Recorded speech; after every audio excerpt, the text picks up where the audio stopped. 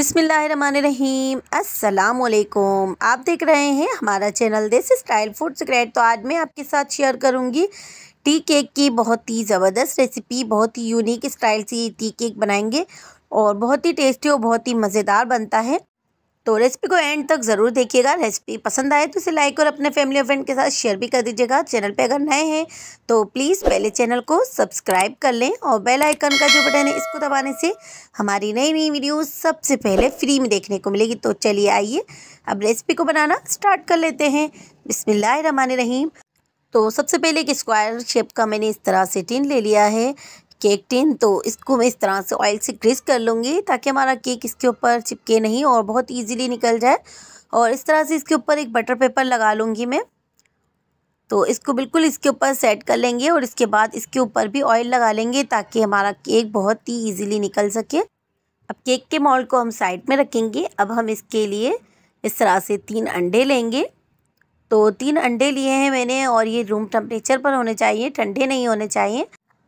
और अब इसके हम जर्दी को अलग अलहदा करेंगे, और सफ़ेदी को अलहदा रखेंगे। तो एक बॉल में मैं जर्दी को निकालूँगी और एक बॉल में मैं सफ़ेदी को निकालूँगी। तो मैंने तीन अंडे लिए हैं, इनकी जर्दी और सफ़ेदी को हम अलहदा कर लेंगे। तो देखिए, मैंने जर्दी को अलहदा रख लिया था। अब इसमें मैं डाल रही हूँ एक टेबल स्पून चीनी। तो मैंने एक कप चीनी ली है।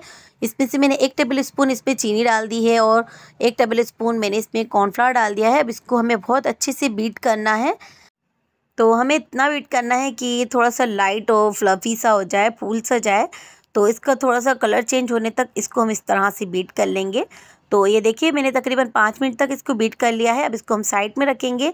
अब हम अंडे की सफ़ेदी को इस तरह से बीट करेंगे। बिल्कुल फॉमी हो जानी चाहिए। हमारी बहुत अच्छे से इसको बीट करना है कि बिल्कुल लाइट बिल्कुल वाइट और बिल्कुल क्रीमी शक्ल में आ जाए। तो जब तक ये डबल क्वांटिटी में नहीं होती, जब तक हमें इसको अच्छे से बीट करना है तो ये देखें किस तरह से हमारा अंडा बीट कर रहे हैं और ये फूल सा जा रहा है। बहुत ही ज़बरदस्त डबल क्वांटिटी में हो चुका है। तो अब इसमें मैं डाल दूँगी थोड़ी थोड़ी करके इस तरह से पिसी हुई चीनी। तो एक कप मैंने चीनी ली है, तीन अंडे लिए हैं मैंने और एक कप मैंने चीनी ली है। एक कप में से पहले मैंने एक टेबल स्पून उस बैटर में डाल दी है। और अब बाकी की चीनी मैं सारी इसके अंदर डाल दूँगी। थोड़ी थोड़ी करके वक्फे वक्फे से डालेंगे और इसको इस तरह से बीट करते जाएँगे ताकि इसके अंदर अच्छे से मिक्स हो सके। और अब इसमें मैंने तीन दफ़ा में चीनी डालकर इसको बहुत अच्छे से बीट कर लिया है। तो ये देखिए, इस तरह से हमारा फोमी शक्ल में आ चुका है। बिल्कुल लाइट हो चुका है और अच्छे से फूल भी चुका है। तो इसको बीट करना बहुत इंपॉर्टेंट स्टेप है। तो इसको हम बीट ज़रूर करेंगे। जितना अच्छा हम इसको बीट करेंगे, उतना ही फूला हुआ और इसका कलर भी बहुत ही ज़बरदस्त आएगा। तो देखिए, जिसमें मैंने अंडे का बैटर, अंडे की जर्दी का बैटर बनाया था, उसमें हम तीन टेबल स्पून ऑयल डाल देंगे। तो अब इसको डालकर भी हैंड बीटर से मैं इस तरह से मिक्स कर लूँगी। आप चाहें तो इलेक्ट्रिक बीटर से भी बीट कर सकते हैं। तो बस इस तरह से मैंने हैंड बीटर से थोड़ा सा इसको बीट कर लिया है अच्छे से, ताकि ये भी इसके अंदर बहुत अच्छे से बीट हो जाए। तो देखिए, बस इस तरह से मैंने इसको बीट कर लिया है। अब इसके अंदर हम डालेंगे थोड़ा सा मिल्क डालेंगे। मिल्क डालकर भी इसको मैं बहुत अच्छे से बीट कर लूँगी ताकि ये भी इसके अंदर बहुत अच्छे से मिक्स हो जाए। ये रूम टेम्परेचर पर लिया है मैंने और इसको भी डालकर मैंने मिक्स कर लिया है। तकरीबन तीन टेबल स्पून के करीब मैंने इसमें मिल्क ले लिया है और एक टेबल स्पून में इसमें और कॉर्नफ्लावर डालूँगी और इसको मैं मिक्स करूँगी। और अब इसमें मैंने लिया था एक कप मैदा। तो मैदे को भी बस इसी तरह मैं छान कर डालूँगी। एक बार मैंने छान के लिया हुआ है और इसको दोबारा से छानेंगे। तो ये स्टेप बहुत ज़रूरी है कि इसको छान कर लेंगे। हम छान कर लेते हैं तो इससे हमारा केक बहुत ही फ्लफ़ी और हल्का सा हमारा मैदा भी बहुत लाइट हो जाता है। तो इसलिए इसकी मिक्सिंग भी बहुत अच्छी हो जाती है। इसलिए देखें, इस तरह से मैंने थोड़ा सा पहले डाला है और इसको इस तरह से मिक्स कर लूँगी। ताकि इसके अंदर लम्स ना बने और बहुत ज़्यादा तेज़ हाथों से नहीं करेंगे। इसको बस हल्के हाथों से इस तरह से मिक्स कर लेंगे। तो बस आधा मैदा मैंने इसके अंदर डाल दिया है और इसको इस तरह से मैंने लाइट हाथों से बिल्कुल एक ही साइड से हम फोल्ड करते हुए इसको मिक्स करेंगे। तो दोनों तरफ़ से इसको हमें इस तरह से उल्टा सीधा नहीं घुमाना है। अगर हम उल्टा सीधा घुमाएँगे तो हमारा केक बहुत ही हार्ड हो जाता है। तो बस इस तरह से मैंने इसमें सारा मैदा डाल दिया है। थोड़ा सा मैदा मैंने बचा लिया है। और ये जो मैंने मैदा इसके अंदर डाला है, इसको डालकर इसको हल्के हाथों से इस तरह से मिक्स करेंगे। एक ही साइड से हम इस तरह से घुमाते हुए मिक्स करेंगे ताकि इसके अंदर लम्स वगैरह ना बने।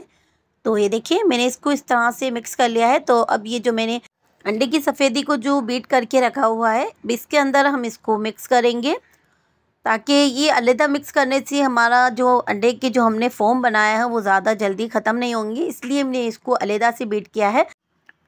ताकि हम एक साथ इसके अंदर सारी चीज़ें मिक्स करेंगे तो इसका फोम जो है वो ख़त्म ना हो। इसलिए थोड़ा सा मैंने बैटर इस तरह से अलहदा से तैयार किया है, ताकि इसके अंदर मिक्सिंग में आसानी हो सके। और ये थोड़ा सा मैंने मैदा और एक टेबल स्पून मैंने इसमें बेकिंग पाउडर लिया है तो अब इसको भी इस तरह छान के डाल दूँगी मैं। और सारा हमारा मैदा इसमें डल चुका है तो एक कप मैंने मैदा लिया है, एक कप मैंने चीनी ली है, और दो टेबल स्पून मैंने इसमें कॉर्नफ्लावर लिया है। तो अब इसको देखिए, इस तरह से बिल्कुल हल्के हाथों से मिक्स करेंगे। बहुत ज़्यादा तेज़ तेज़ हमें इसको मिक्स नहीं करना है और सिर्फ़ एक ही साइड से हम इसको इस तरह से फोल्ड करते हुए मिक्स करेंगे। दोनों साइड से हमें उल्टा सीधा नहीं घुमाना है। अगर उल्टा सीधा घुमाएँगे तो ये हार्ड हो जाएगा और इसका जो फोम हमने बनाए हैं वो बीट करके तो वो सारे ख़त्म हो जाएँगे और इसमें मैंने थोड़ा सा फ्लेवर के लिए वनीला एसेंस डाल दिया है। आप कोई सा भी इसके अंदर फ्लेवर डालना चाहें लेमन एसेंस हो वनीला एसेंस हो बनाना एसेंस हो तो आप वो इसके अंदर ऐड कर सकते हैं। ये देखिए, मैं इसको बिल्कुल हल्के हाथों से इस तरह से मिक्स कर रही हूँ ताकि इसके अंदर जो मैंने फोम बनाया है, वो ख़त्म ना हो। ये देखिए, बस इस तरह से मैंने इसको बीट कर लिया है और ये सारी चीज़ें हमारी अच्छे से मिक्स हो चुकी हैं और इस तरह की इसकी कंसिस्टेंसी होनी चाहिए। तो अब इसको हम बेक करेंगे तो इसके लिए हम इसको बेकिंग ट्रे में डालेंगे इस तरह से। तो आजकल मेरी वीडियोस बहुत कम आ रही हैं, क्योंकि मेरी लोड शेडिंग की वजह से वीडियोस रिकॉर्डिंग नहीं कर पाती हूँ। तो इसी वजह से मेरी वीडियोस थोड़ी सी कम बन रही हैं तो रेसिपी को आप लोग देखते रहा करें। और आप हमें कमेंट्स करके भी ज़रूर बताया करें कि आप लोग को हमारी रेसिपीज़ कैसी लगती हैं।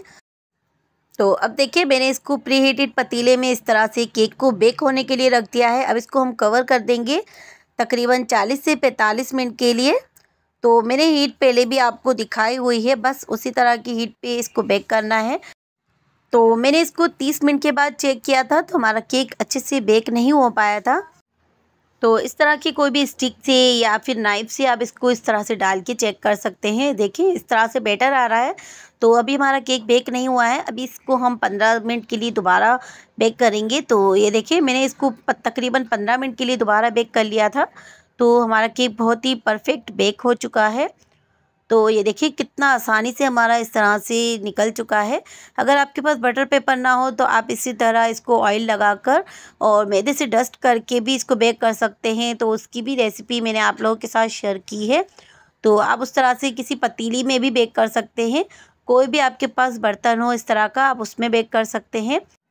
तो देखिए कितनी आसानी से हमारा इसके ऊपर से बटर पेपर भी निकल गया है।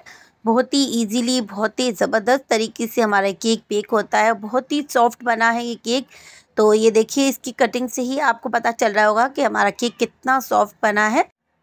तो ये देखिए, कितना सॉफ्ट हमारा केक बना है। बहुत ही ज़बरदस्त और बहुत ही टेस्टी सा ये केक बनता है। तो आप लोग भी इसे बहुत ही आसानी से घर पे बना के तैयार कर सकते हैं और पतीले में बना सकते हैं। और कढ़ाई में भी इसको बेक कर सकते हैं तो बहुत ही आसानी से घर के ही बर्तनों में ये बेक हो जाता है और बहुत ही अच्छा बेक होता है। तो ये देखें, बहुत ही सॉफ्ट और बहुत ही ज़बरदस्त हमारा केक बना है और इसकी लेंथ से के हाइट कितनी अच्छी इसकी हाइट आई है और बहुत ही सॉफ्ट सा ये केक बना है। इसका कलर भी बहुत ही ज़बरदस्त आया है। तो रेसिपी को आप लोग पूरा देखा करें, रेसिपी पसंद आए तो इसे लाइक भी कर दिया करें और हमें कमेंट्स करके ज़रूर बताया करें कि आप लोगों को हमारी रेसिपीज़ कैसी लगती हैं। रेसिपी पसंद आई हो तो इसे लाइक कर दें और अपने फैमिली और फ्रेंड के साथ शेयर भी कर दीजिएगा। तो मिलते हैं एक और नई रेसिपी के साथ। तो जब तक अपना ख्याल रखिएगा, हमें अपनी दुआओं में याद रखिएगा। तो जाने से पहले चैनल को ज़रूर सब्सक्राइब कर लीजिएगा। तो अब हमें इजाज़त दीजिए। अल्लाह हाफिज़।